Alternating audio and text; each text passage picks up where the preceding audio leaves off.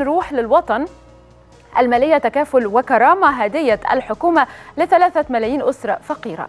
أكد أحمد كوجك نائب وزير المالية للسياسات المالية أن الحكومة تتجه بشكل كبير للتركيز على محدودي الدخل واستهدافهم بصورة حقيقية وهو ما تم بالفعل في موازنة العام المالي 2016-2017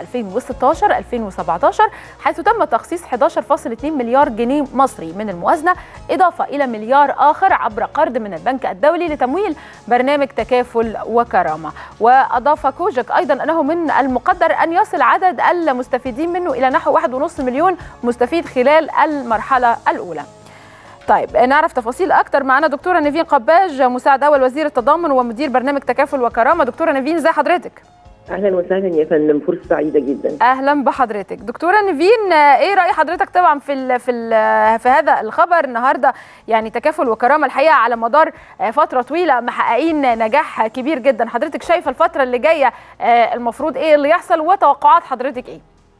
هي هي الفترة الأولانية اللي هي السنة الأولى هو كان البرنامج بدأ من مارس 2015 15 آه. بدأت الأول فترة تحضيرية ثم بدأنا تسجيلات وهي كانت ال ال الهدف من البرنامج إن هو يبقى أكثر إنصافا وأكثر شمولا للفقراء ون ونقلل الفجوة اللي ما بين الأغنياء والفقراء. تمام. ونشمل كمان المجتمعات الفقيرة والنائية والمحرومة بخدمات زي الصحة والتعليم والتغذية. تمام. إلى جانب الدعم النقدي. آه وصلنا لغاية إحنا سجلنا أكثر من مليون و300 ألف أسرة. بما يعادل 5 مليون و200 ألف مواطن.